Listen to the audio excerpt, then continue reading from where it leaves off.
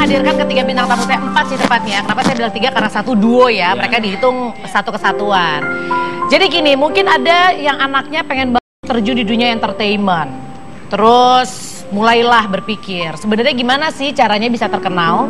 Ada yang bilang silahkan terkenal lewat prestasi. Ada yang juga bilang aduh lama terkenal lewat, lewat prestasi mendingan sensasi dulu. Makanya ada tiga bintang tamu saya dan saya menghargai kejujuran dua serigala ketika mereka bilang memang mereka mengakui mengawali dunia entertainment dengan sebuah sensasi. Nah sekarang aku tanya, enaknya memulai karir dengan sensasi apa? Pertama banyak yang langsung kenal ya. Awareness Karena orang ciri langsung khas- dapet. ciri khas Iya. kita dari mana gitu. Tapi yang kedua Gak enaknya?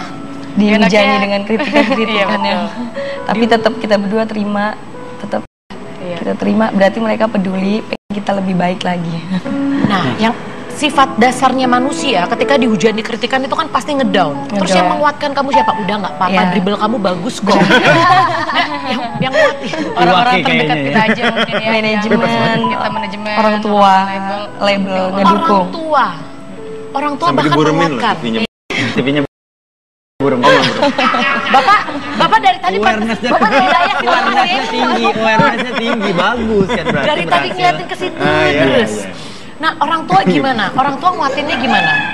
Yang Iya, eh, walaupun dipandang sebelah mata, kalian kalau memang udah seperti ini harus nunjukin kalau kalian tuh bukan seperti ini loh gitu. kalau dari orang tua aku sendiri ya awalnya begini nanti akhirnya jangan seperti ini. Ya Lebih. boleh nanya gak Boleh. satu pertanyaan kalau Tapi pertanyaannya yang sesuai berkaitan ya, Pak. Oh iya ini ini Nggak boleh nanya yang lain loh, Pak. Nyambung gua konsen ya ampun. Gila kali. Enggak pertanyaan gue. ah, fotonya bisa nggak nggak usah ditayangin dulu?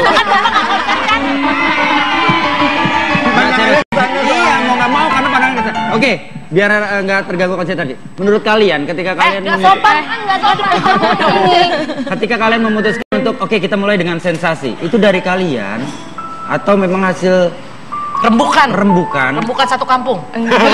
sama manajemen atau dalam Iya, artian kan tapi kan memang nggak bisa dipungkiri juga. Ada orang yang eh, berpikir bahwa ketika gue punya prestasi eh, orang akan menilai itu sebuah prestasi dan orang mungkin akan mencari. Tapi ada juga tidak bisa disalahkan juga. Ketika ki- kita terjun ke dunia TV kalau orang nggak lihat kita di TV terus gimana mereka mau ngundang apalagi di luar daerah Nah, makanya itu dia kita kan tanya enaknya Nah, apa. makanya dari awal mereka memang dari awal mereka berdua. Yaudah yuk kita bikinnya sensasi aja dulu atau memang justru ada masukan untuk gimana gimana. Enggak, enggak gitu sih. Mungkin kita juga tanpa kita sadari itu sensasi langsung keluar sendiri Terjadi dari diri kita. saja. Iya. Kok Dari bisa? yang video di YouTube itu Iya, dia dia kan kita cuman pribadi cuma ya. iseng-iseng aja gitu kak bikin video ternyata entah itu siapa yang masukin ke YouTube gitu Oh, oke. pas itu kita bikin video lagi yang gue yang dribble itu kan eh, kita video sendiri kita masukin ke Facebook nah setelah itu ada yang masuk lagi ke YouTube Oke. tapi bukan kita yang masukin Jadi ada Dari pihak situ. ketiga lah yang membuat kalian bisa semakin terkenal dengan Iya. goyang dribblenya itu. Nah, sekarang dengan Siti Badriah.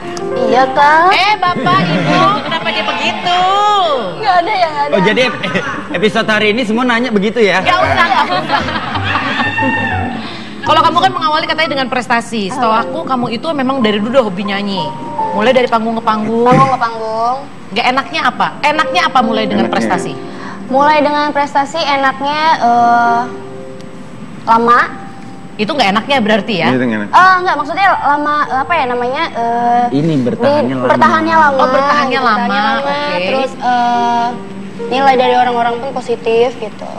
Nah nggak enaknya nungguin prestasinya itu lama gitu. Nungguin apa maksudnya eh, Hasilnya. apa hasilnya karya karya yang udah kita eh, bangun, udah kita buat itu lama lama munculnya lama lama istilahnya dikenal orangnya. lama gitu ah, benar benar dikenal berdiri, lama. bilang lama. Enggak, enggak. Nah, kalau misalkan kalau? Bang Thomas sendiri, Bang Thomas sendiri pasti setuju. Iya. Kurang lebih sama karena aku tahu awal mulainya dari model, kemudian Susah-susah susah pasti susahnya ya. udah ngerasain. Keringet darah semuanya. gitu kan. Nah, Merintis men- menjadi seorang bintang gitu. sekarang berarti tanggapannya sebagai salah satu pemain lama yang memulai dengan prestasi, melihat banyak artis muda yang muncul dan memulai dengan sensasi. Yang terbesit di otaknya Abang Thomas Georgi apa? Bisa bertanggung jawab apa yang dia raih sekarang gitu. Dan tugasnya mempertahankan. Itu yang sulit. Mendapatkan gelar atau mendapatkan predikat apa pun gampang, tapi mempertahankannya itu yang sulit. Betul, untuk mempertahankan tetap ada di puncak ya, Ya, ada di uh, ranah permainan ini. Betul. Baik, tapi gini, aku pengen tahu, dua serigala yang kita kenal melalui layar kaca, sebenarnya aslinya berbeda nggak? Beda. Beda banget. Oh, berarti yang ditayangin itu hasil editan. Bukan maksudnya apa? Kan kalau di sini kan mereka terkesannya kayak orangnya hey fun. Apakah aslinya jangan-jangan orangnya pendiam, melo? Pendiam banget. Bener. Iya. Sih?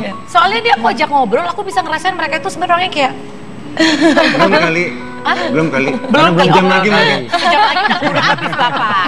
Oke, kalau gitu gimana kita bermain aja? Oke. Supaya kita tahu mereka itu sebenarnya orangnya seperti apa sih? Silakan Abang Wendy. Eh, Baik. Pak, rambutnya nggak bisa dicopot ya Pak? Jangan, jangan lucu. Nah, Eh? Pak, Baik. Hah? mukanya nggak bisa dicopot. Nggak bisa. Stop terakhir. Diam.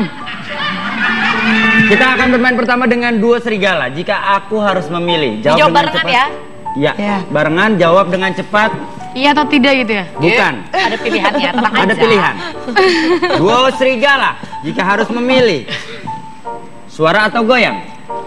Satu, dua, tiga. Goyang. Oke, bagus.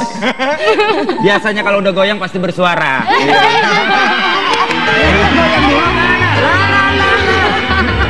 Ya kan? Nah, la la gitu. Iya, iya, iya, benar, benar, benar. Kenapa? Kenapa menurut kamu goyang lebih utama dibanding suara? Karena kalau suara itu suara bagus itu banyak yang punya. Iya banyak yang punya tapi yang Cuma punya ciri goyangan. khas Iya. kita adalah goyangan sih. Suara, iya. Oh, oh, oh, ada yang bilang Ya dancer aja katanya. Dancernya kan sekarang dilihatin orang. Jadi mere- mereka mungkin merangkap.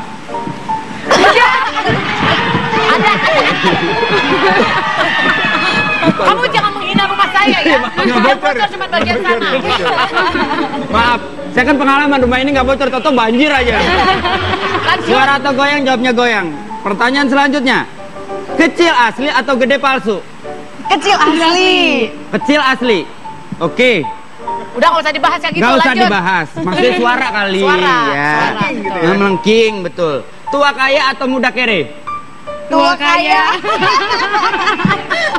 Udah ngerasain kere pusing ya bu ya, ya bu ya. Gue udah tua kere ya. Pertanyaan terakhir, dua serigala atau duo serigala? Duo, Duo serigala. serigala. Duo. Duo. Bedanya sama dua serigala apa? Kalau dua Dua kan angka kan mungkin. angka, mungkin Kalau duo kan duo, tulisan. tulisan. Duo. Mungkin kalau dua itu penyanyi dari Indonesia, kalau duo dari Padang. Duo. Dua serigalo, dua serigalo ya. Kamu. Oke, baiklah. Tapi minimal, kenapa kita suka banget bermain jika aku harus memilih? Karena apa pun yang terlintas pertama kali di otak sebenarnya itu Itu ya, adalah benar. jawaban jujur. Ya. Tapi kita mengakui dan uh, senang atas kejujurannya mereka. Baik, sekarang Walaupun menyakitkan. Sinbad. Yes. Sinbad. Pesulap kali ya, Sinbad. Limban. Itu limbat. Itu limban. Oh, itu Sinbad. Vokalis kaya atau pengusaha kere? Vokalis kaya. Oh. Salah pilihannya harusnya vokalis kere atau pengusaha kere.